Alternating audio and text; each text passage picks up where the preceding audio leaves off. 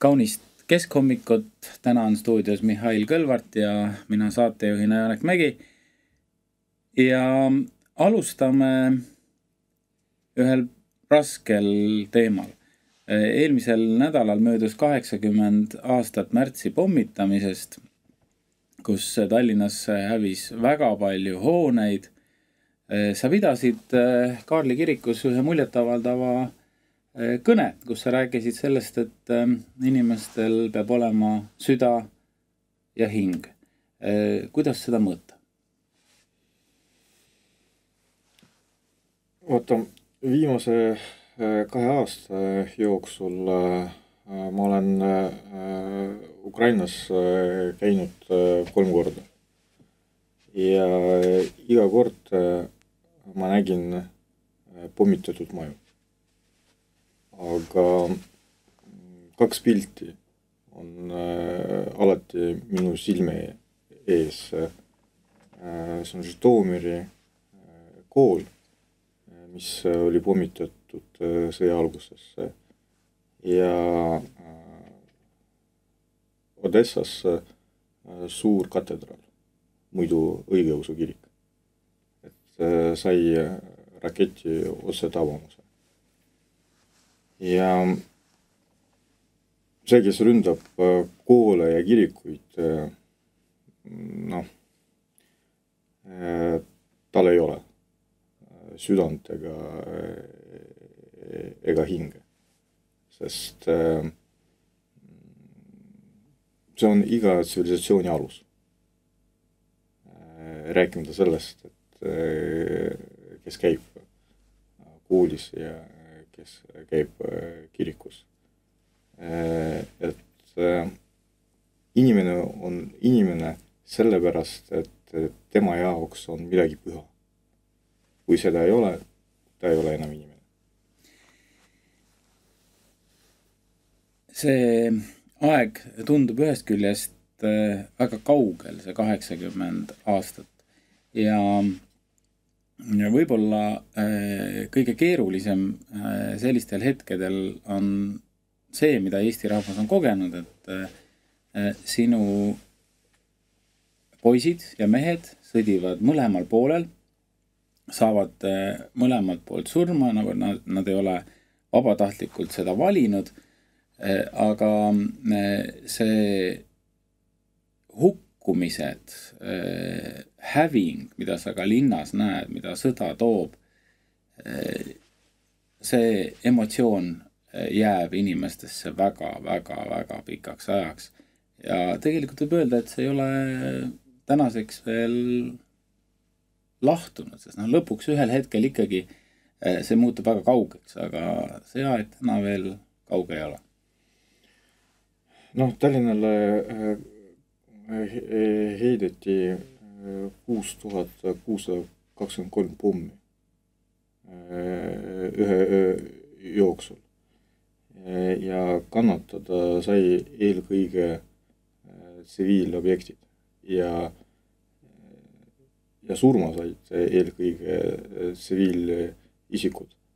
aga see on nagu, tsiviilisikut on selline natuke bürokraatlik äh, definitsioon.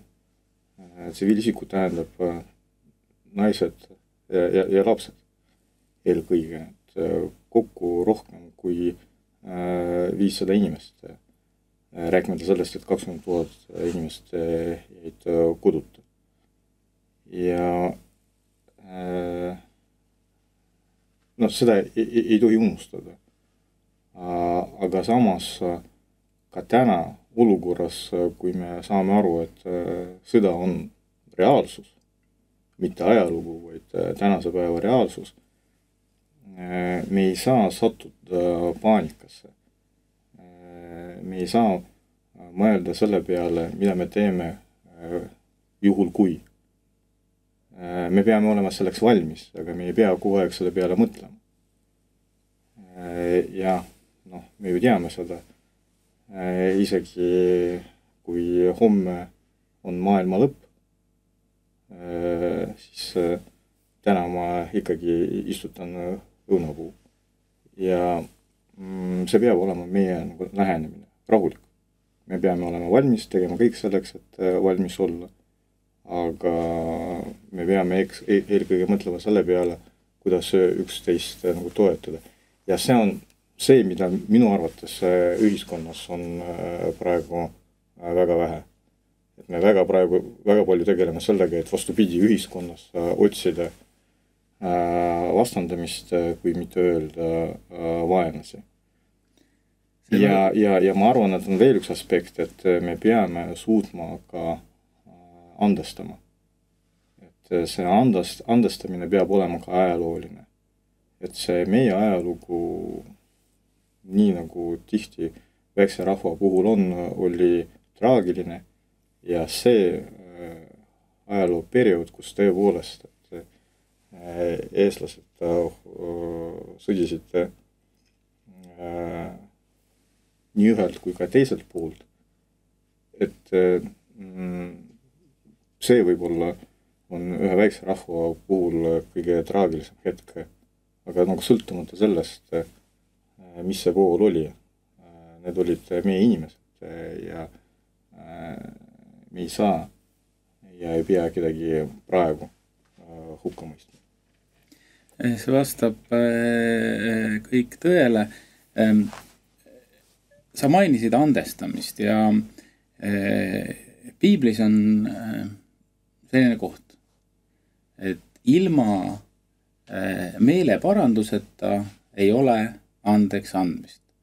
no selle mõte on see, et inimene, kes on midagi valesti teinud, ta peab tunnistama, et ta midagi valesti on teinud ja siis teine ja veel olulisem on, ta ei tohi seda enam mitte edasi teha ja, ja noh, ma arvan, et eh, oluline on ka see, et, et me mõistame selle meeleparanduse vajadust ka eh, oma rahva hulgas ja siis edasi juba sealt kaugemale.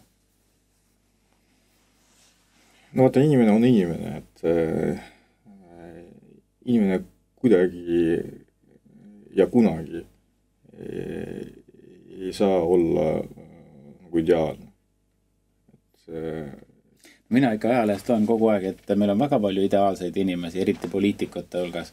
eriti poliitikud ei suuda olla ideaalsed aga, aga, aga vaata, poliitikute puhul on see, et on ootus, et, et poliitik peab olema ideaalne ja kuna meie poliitikud eh, tihti ei suuda vastata sellele ootusele, siis loomulikult inimestel nagu tekib küsimus, milleks selliseid poliitikuid on vaja. no ma arvan, et küllap on meil äh, selliseid tublisid poliitikuid ka või, või mitte küllap, vaid ongi, aga, aga see on hea teemavahetuse koht ja äsja tuli uudis, et Portugalis kehtestatud suhkrumaks see oli kümme aastat tagasi, eh, ei ole tegelikult soovitud tulemusi andnud, hoopis vastupidi. Eh, et kui seal oli alaliselt eh, laste rasvumine või tähendab järjepidevalt langenud, siis suhkrumaksu kehtestamise järel hakkas see hoopis kasvama. Eestis arutatakse nüüd ka, et tuleb teha suhkrumaks, millega siis finantseerida riigikaitselisi kulutusi ja eelarveauke lappida. Äh, kas suhkrumaks on see maks, äh, mis võiks aidata riigi rahandust parandada? no mulle tundub, et see arutelu suhkrumaksu kehtestamise teemal näitab tegelikult, mis on praeguse valitsuse ja koalitsiooni majandusideoloogia, isegi mitte poliitika, vaid ideoloogia.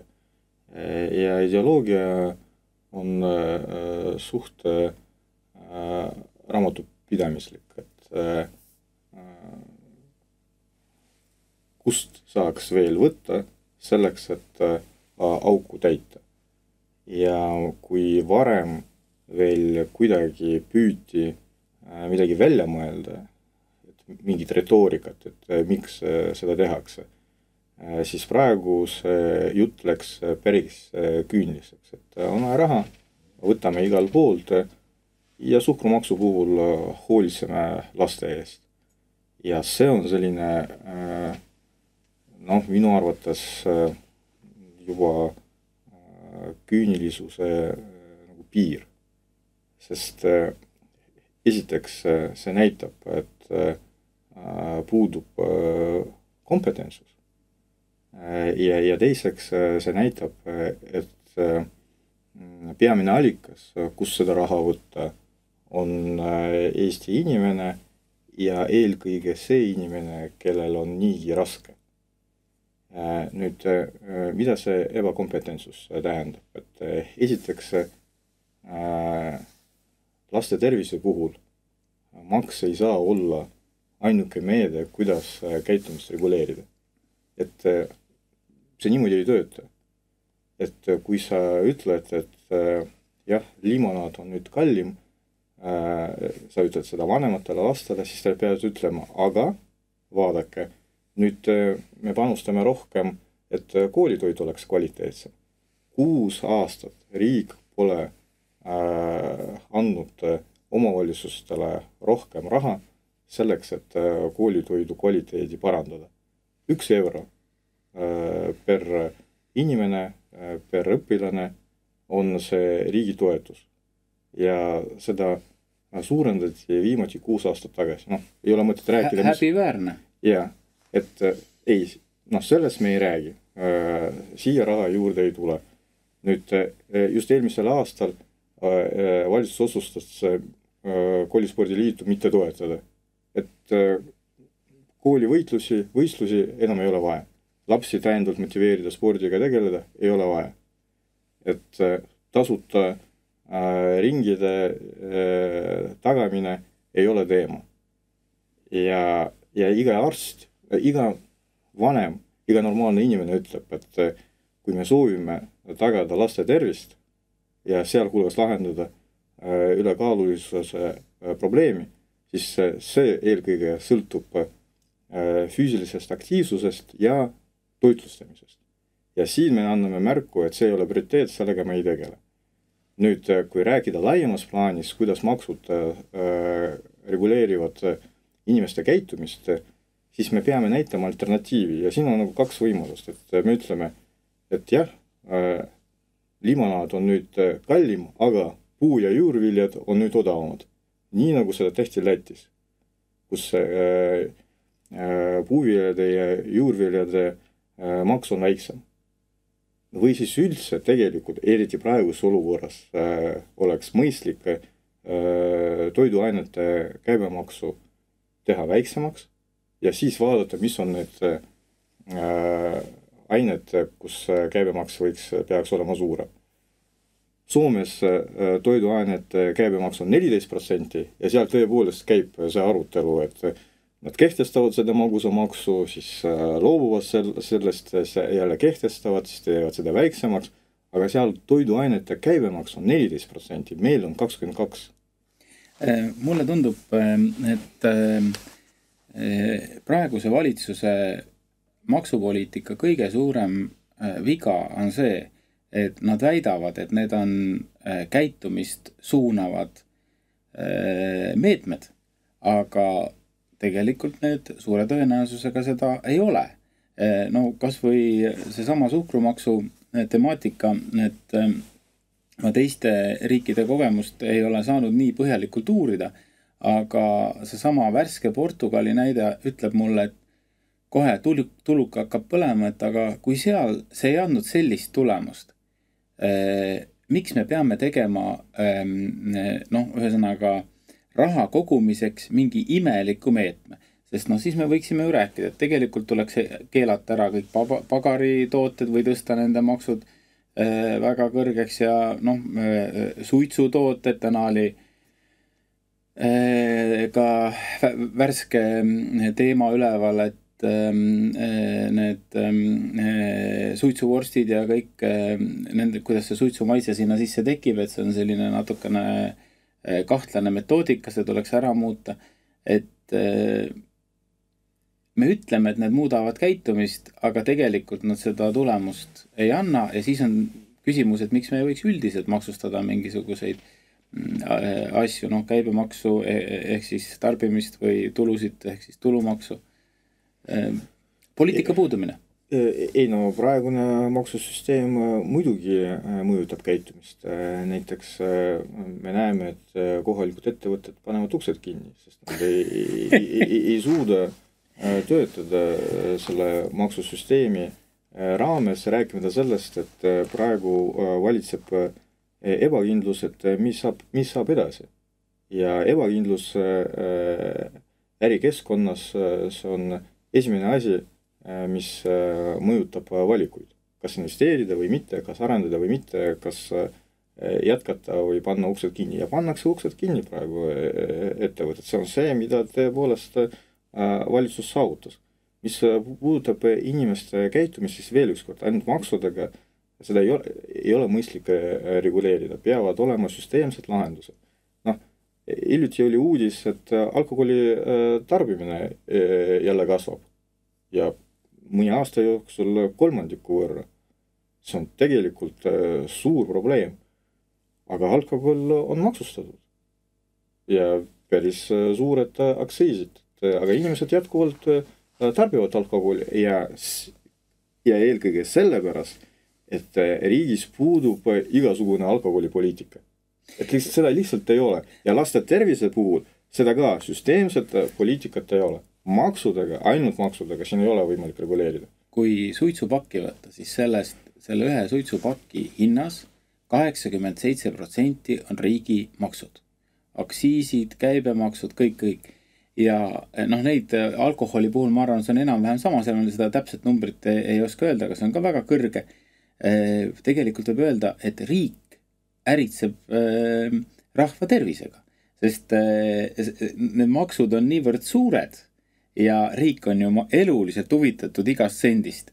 et noh. vaata, suitsutamise puhul on ikkagi, on või oli natuke süsteemsem äh, lähenemine, siis äh, kui noh, mõned inimesed juba ei mäleta, et kunagi oli lubatud suitsetada. kohvikus võisid suitsu teha rahulikult? igal pool üldse kunagi isegi lennukites no, oli selline aeg. seda kindlasti juba keegi ei mäleta, aga noh siis, et Äh, reklaamikeeld, siis äh, kõik avalikud kohad, äh, noh, suitsetada ei, ei, ei tohi, et seal on mingi süsteemne lähenemine ikkagi oli ja tänu sellele ikkagi oli ka efekt, mitte ainult aktsiisid sellega no, võib nõustuda, et suitsetamine ongi vähenenud. jaa, aga nüüd alkoholi puhul, et no see on nagu tegelikult palju sügavam ja laiem probleem, aga nüüd just hiljuti jällegi oli arutelu, et kuidas lihtsustada äh, alkoholireklaami, et äh, noh, mis mõttes?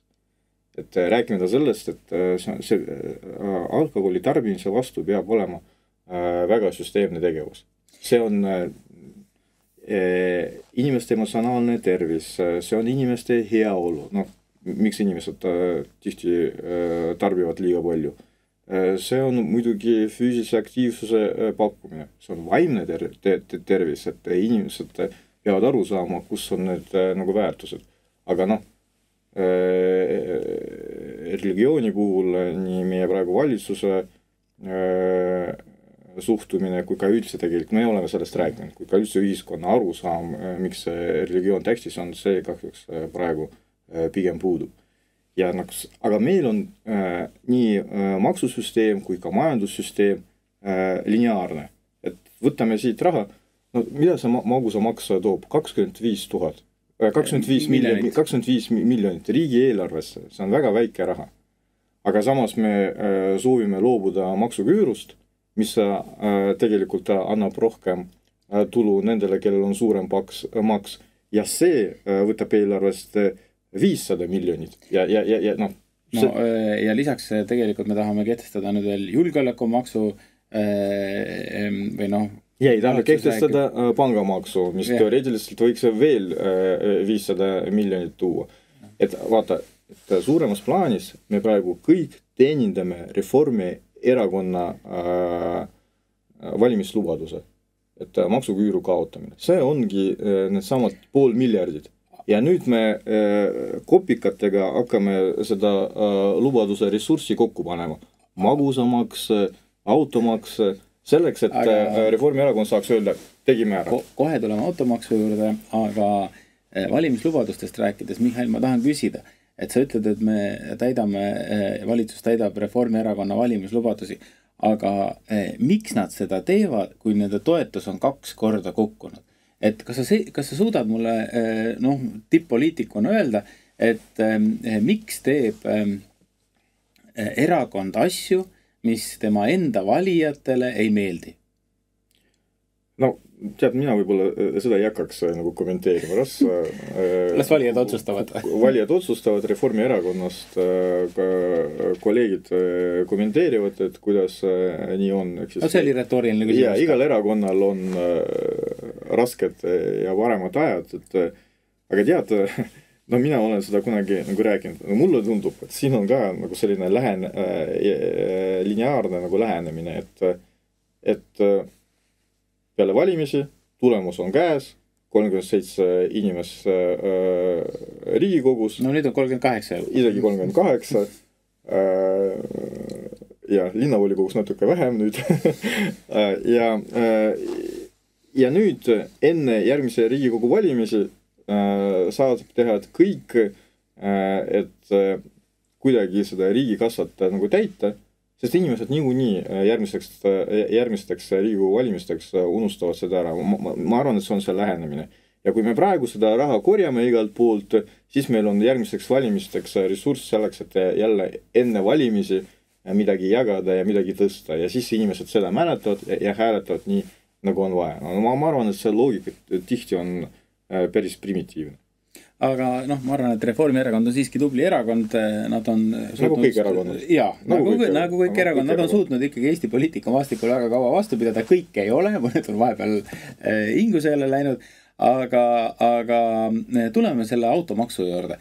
ja me oleme täna arutanud natukene seda, et mis on maksu eesmärk üldse, et kas suunata käitumist või koguda lihtsalt riigikassasse raha kas sina oled saanud aru selle äh, avaliku debati äh, käigus, sest noh, nüüd on ikka päris pikalt seda ju arutatud, et mis on automaksu mõte, eesmärk ja äh, kas meil on seda maksu vaja?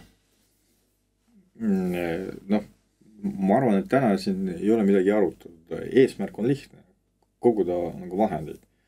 aga ma äh, pakuks jälle nagu laiemat vaadet, et äh, nii nagu äh, suhkrumaksu puhul, et äh, samamoodi ka automaksu puhul, et aga mis edasi, mis on nagu järgmised nagu käigud? et suuname inimesi rohkem kasutama ühistranspordi. aga samas nüüd ma, maakondlik ühistransport ei ole enam tasuta. no kus see loogika on? nüüd mida me ütleme maainimestele? Et äh, kasutage ühistranspordi, aga tegelikult äh, võrgustik ei ole piisavalt äh, arenenud nende aastate jooksul. Ja nüüd me veel ütleme, et nüüd see maakondlik transport ei ole ka tasuta.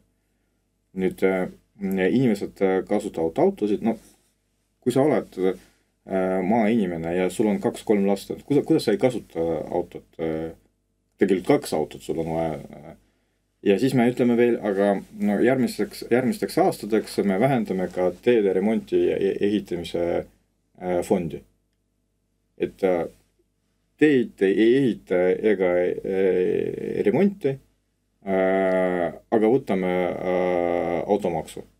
ehk siis autode amortisatsioon suureneb veelgi, kui teed ei ole korras, noh, loogika on ju lihtne ehk siis äh, siin ei ole nagu teist äh, varianti, ehk siis seda äh, automaksu kehtestatakse mitte selleks, et inimesed rohkem kasutaksid ühistranspordi, mitte selleks, et teid renoveerida ja ehitada, lihtsalt, et täita auku. ja, ja niimoodi tuleb äh, ka ausalt öelda ja viimasel ajal seda ausalt äh, ka valitsus küüniliselt meile annab teada. Äh, ja rääkimata sellest, et ka automaksu puhul et äh, noh, see, kes äh, suudab endale äh, elektriautot osta ja ülal pidada, noh, see maksab vähem ja tavaliselt need inimesed ongi nagu rikkamad. aga kui sul on vana Audi, siis sa maksad ka rohkem. et noh ja, ja siin nagu tekib ka teine küsimus, et automaks, aga no mõtleme nende inimeste peale, kelle jaoks auto on väga vajalik, et äh, lastega pered, eriti maapiirkonnades, erivajadustega inimesed, anname nendele soodustuse? ei. et isegi seda ei ole võimalik äh, äh Riigikogus kokku leppida äh,. erivajadustega inimestele küll antakse või noh, planeeritakse anda soodustust, aga selleks nad peavad enda autot ümber ehitama või peavad võtma veel rohkem kulusid selleks, et saada soodustuse. Kus see, kus siin see loogika on? automaks on tekitanud inimestes sellise tunde, et noh, neid ahistatakse. auto on ikkagi kuidagi olnud selline väga-väga oluline asi, täpselt niimoodi, nagu sa rääkisid, aga milline siis oleks õiglane ja mõistlik eh, keskkonnamaks nende eh, liiklusvahendite puhul, eh, mis keskkonda saastavad või võiks jääda kõik niimoodi, nagu praegu on? no e-, e-, esiteks see, see debatt pidi algama siis, kui oli majanduskasv. no ei, ei ole mõistlik tegeleda massiivse maksude kehtestamisega majanduslanguse ajal teiseks, siis see eesmärk peab olema väga selge, seda tuleb ka sõnastada. See eesmärk ei olnud selgelt sõnastatud. ja kolmandaks, kus on mõjuanalüüs? et äh, ükski äh, initsiatiiv praegu, mida püütakse ellu viia eh,, ei too kaasa mõjuanalüüse. seda lihtsalt ei ole. et, et millegipärast valitsus arvab, et seda ei ole vaja teha ja kui seda ei ole, siis ei ole ka midagi arutada, et et kui ei ole selget eesmärki, ei ole ma-, äh, mõjuanalüüsi, äh, sealhulgas ka äh, majandusanalüüsi, sealhulgas ka erinevate maksude kaasmõju analüüs, siis nagu tekib küsimus, et aga mida üldse arutada, kui me ei tea, mida me teeme ja, ja, ja, ja milleks me teeme. et loomulikult maksud peavad olema, riik ei eksisteeri ilma selleta loomulikult tuleb mõelda, kuidas inimeste käitumist äh, reguleerida. aga no siis tuleb seda analüüsida ja seda analüüsi ka ühiskonnale pakkuda. praegu ei ole midagi arutada. Ja, ja, ja siin ma kasutan võimalust, teen ka väikse reklaami, et äh, seitsmeteistkümnendal märtsil äh, superministeeriumi ees kell kaksteist toimub meeleavaldus automaksu vastu ja ma arvan, et äh, meie peame näitama äh, valitsusele, praegusele äh, koalitsioonile, mm, et me seda ei aktsepteeri just nendel põhjustel. eesmärgid ei ole selged, analüüsi ei ole ja automaks eelkõige raskendab majandusseisu nende inimeste puhul, kellel on praegu niigi raske. et seda tuleb välja öelda ja, ja Keskerakond kutsub äh, meeleavaldusele äh, veel üks kord, seitsmeteistkümnendal märtsil superministeeriumi ees kell kaksteist. aga meil on veel ka üks üritus enne seda, kell üksteist me kogume Vabaduse väljakul, et äh, tulla meeleavaldusele rongkäiguga, ehk siis ka selline võimalus on olemas. Kahjuks mina ei, saa tulla sellele rongkäigule ja meeleavaldusele, ma ei ole Eestis.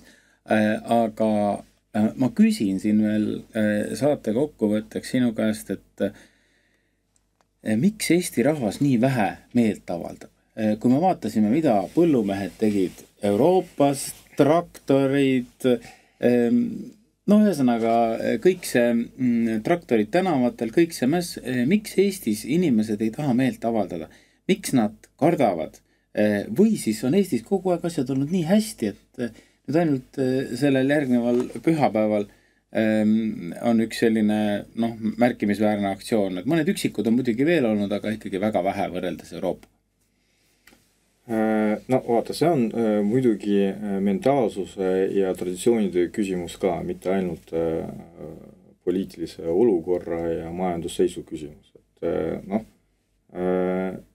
prantslased mässavad mitu sajandit alates äh, Prantsuse revolutsioonist. Nad tegid seda ka enne, ma lugesin just Prantsuse revolutsiooni ajalugu, seal ta ütles enne ka käis täielik jama. jah, et kui temperamendist nagu rääkides, mõnes riigis, noh, näiteks Lõuna-Koreas varem oli nii, et kui nad tulid meeleavaldusele, siis juba selle arusaamaga, et kindlasti politseiga tuleb ka kaklus. et ma, ma seda muidugi ei arva, et tuleb ka meil praktiseerida, aga lihtsalt noh, temperament, mentaalsus, ajalooline taust, et ja Euroopas paljudes riigis inimesed on harjunud meelt avaldama ja enda vabaduse eest seisma.